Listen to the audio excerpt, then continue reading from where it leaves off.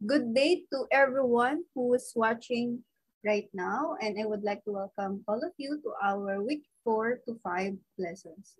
By the way, this is Miss Hazel Gaze M. Aguilar, your online learning coordinator and the SHS coordinator of AMA University.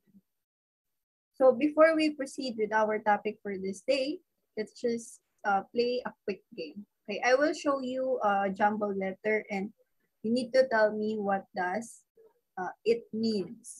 Okay, are you ready? So for the first word, K.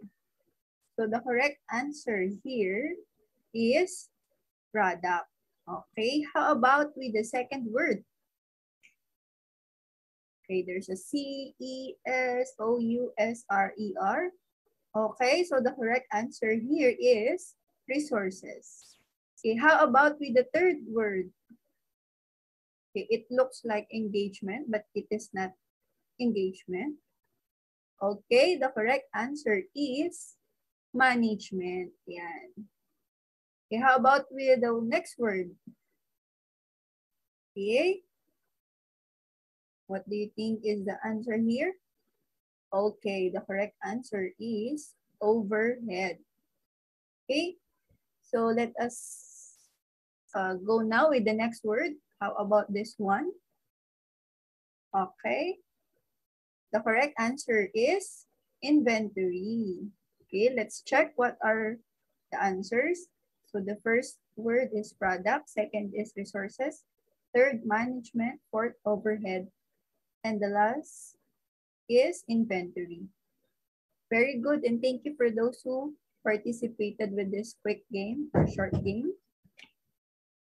Okay, so for our objectives for today, at the end of the lesson, the student should be able to define business, enumerate the different forms of business, distinguish the difference between each forms of business.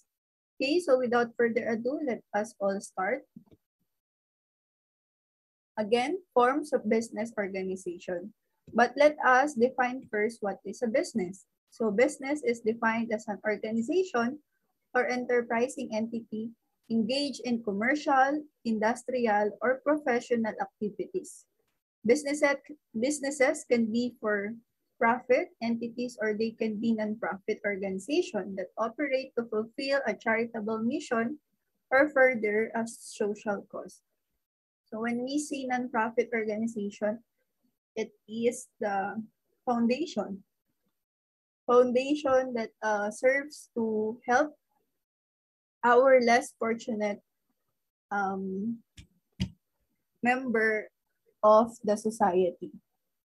And the term business also refers to the organized efforts and activities of individuals to produce and sell goods and services for, for profit. So this is for the businesses that, that was created to um, earn profit, okay? Or to um, provide profit. Okay. And so the first forms of business organization is the sole proprietorship. So it is a business owned by one person. And these are the advantages. By the way, when we say sole proprietorship, example of it is the sari-sari store, or even the um, small business out there. So the advantages are the following. Easy formation. It is easy to form.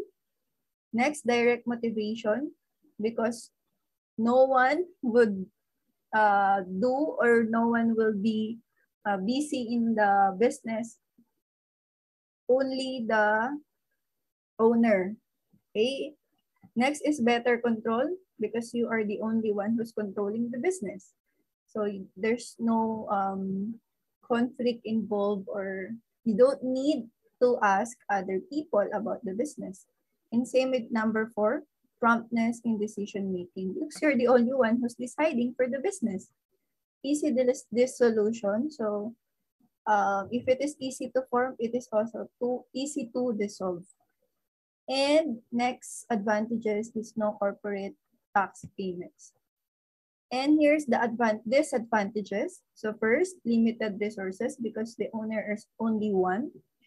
So when we say resources, it is the money, energy, or the managerial skill that could be used for the business. Number two, limited managerial capability because there's only one in the business. Unlimited liability means if you borrowed money from other people for your business, then those people will only uh, look for you, okay, even though you the business is already dissolved. Number four, uncertainty of continuity. Okay, because of the limited resources, limited managerial capability, so the chance of this business to go on for a long time is um, impossible or nearly impossible.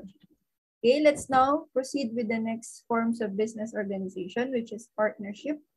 A contract whereby two or more persons bind themselves to contribute money, property, or industry into a common fund with the intention of dividing profits among themselves.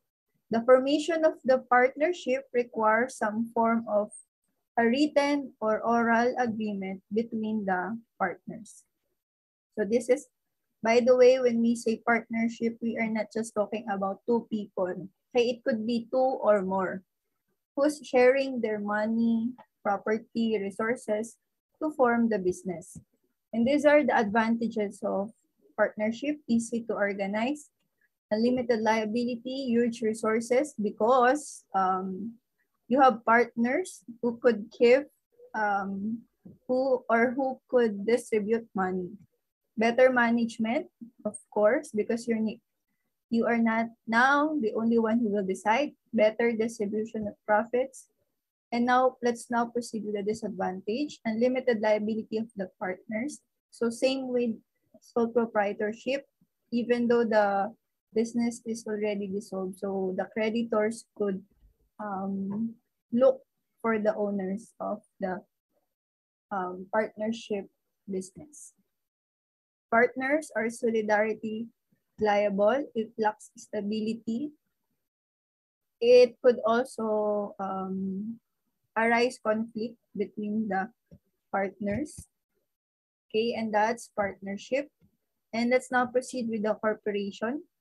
A company or group of people authorized to act as single as a single entity or legal person and recognized as such in law. So here's the advantages. Limited liability for the owners. Because if they have creditors, the creditors would um, look for the business itself rather than the owners. Okay? Because there's a lot of owners of a corporation. And shares of ownership are transferable, even though you're the one who started the business, but uh, it you could share, okay, or you could transfer the ownership with other people or if they will buy a bigger share of the business. Continuity, of course, um, compared to sole proprietorship and partnership, corporation tends to continue uh, longer than the earlier form of business organization. Number four, it attracts more investors, of course, because uh, compared to partnership and sole proprietorship, corporation is a lot more stable than the two. And centralized management, and let's now proceed with the disadvantages. Incorporation is costly, of course. Corporation are highly regulated because we are not just talking about um, um, thousands of money, but in corporation, we are talking about million or billion of um, money, okay, in the business. So that's why corporation are highly regulated. Limited liability may discourage creditors. It may, it is not easy to dissolve, of course. Because it is a big company and sometimes they need to um, declare bankrupt, bank, bankruptcy before closing or dissolving the business. And of course, because, because corporation has a lot of employees. And let's now proceed with the number four forms of business organization. Cooperative. So it is a business organization owned by a group of individuals and is operated for their mutual benefit. So the, the person making up the group are called members. And it is also a separate legal entity and members, directors, managers, and employers are not liable for any debt incurred unless they are the result of recklessness, negligence, or fraud. And it has also democratic style of management. So let us now proceed with the advantages of cooperative. One, generally inexpensive to register. All members must be active in the cooperative. Members have equal vote at a general meeting regardless of their level or of investment or involvement. So how about the disadvantage? One, as a cooperative are formed to provide service to members rather than a return on investment. Of course, if if it will not be balanced, diba? if the cooperative just keep on providing service, so the continuity of the cooperative might not be possible. That's why um, they should balance it. Number two, there's usually limited distribution of profits to members. And number three, uh, because of the uh, lower, because the cooperative tends to provide service rather than to um, create profit. So there is usually limited distribution of profits to members. And members providing greater involvement or investment than others will still get one vote. So of course, if you're the if you're the one member who's always um, DC or managing the cooperative, of course, it is an advantage for you because um, though you want to implement a certain rule or regulations about the cooperative, still uh, your voice is just considered a one voice or one vote. Okay? And and there's just like what it is here, it, there's a democratic style of management. So you cannot impose what you like, even though you're the one who's um, busy operating the cooperative. And requires ongoing education programs for members, of course. So that's the four forms of business organization. So first is the sole proprietorship owned by one person only, partnership, two or more. Cooperative, it's um, um, considered as a legal entity or one um, entity and the, bis and the cooperative, a business organization, owned by a group of individuals. So let, is, let us now proceed with the types of business according to its activities. So the first one is the service business. Is this the simplest type of business which performs service for a fee to a client or customer? So sample, professional teacher, right, or tutor. So they are providing tutorial service for their customer. Repair shop, like um, repair of shoes or any um, anything that could be repaired. Banks, of course, brokers, because they are not selling. Um, it means they are just in the middle of the owner of an asset and then the one who will buy. Consultants and school. So there, these are the type of business who who's providing service. So let us now proceed with the second one, which is the merchandising business. So this type of business entity is in the buy and sell business. The company buys from several vendors, just like in the Divisoria, and provides a central purchasing point where customers can purchase everything in one stop.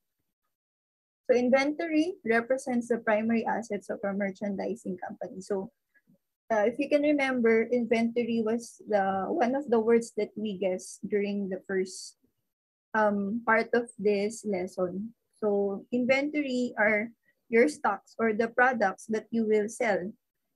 For example, in one shoes um, store, so every shoes that you can see there that is not yet sold, that is their inventory. So there are two types of inventory. So the first one is the wholesaler, which buys large quantities of finished goods directly from the manufacturer or importers, then resells the same to the different merchandiser. So bar, buys large quantities. So just like the stores in Divisoria, wherein they will buy a large entities from China or from other uh, part of the world, then they are going to sell it to the re retailer. Okay? And then the retailer sells the goods directly to the end customer. So when we say retailer, these are um, the convenience store, the sari-sari store, or even the owner of the online shop or online seller. Okay? And let's now proceed with the um, last one, last types of business according to activities, which is the manufacturing business. Manufacturers are also called fabricators or producers or processors. The process of converting raw materials, components of, or parts into finished goods that met a customer's expectation or specifications. So what are the important things about manufacturing business? So first is the raw materials. These are the, the materials that is to be processed into a finished product. So what are the example of raw materials? The tree. The tree that could be formed uh, into a lot of things like paper, furniture, drawer, even bed, and there's a lot more. And there's also direct and indirect materials. When we say direct material, materials that are part of the final product. So for example, the paper. So what are the other product that that were used or utilized to produce the finished product. So that that is called as direct material. But when we say indirect material, materials that are not part of the final product, but we use during uh, processing the final product. And there's also direct labor, wages of those persons whose efforts directly affect the quality or other characteristics of the products man manufactured. So for example, the factory worker or the one who's uh, processing the final product. But overhead, wages of those who are not directly involved in the manufacturing process but help in the process of making the final product. For example, the people in the accounting department or the purchasing department or procurement department. So they were the one who um, purchased the, the materials, the direct materials, and then from them, the direct labor will do their part in finishing the product. Okay, and whether they are directly part or not, uh, or indirectly part of creating the final product, but still they play their important role in making the product. Um, by the way, what are the example of um, manufacturing business?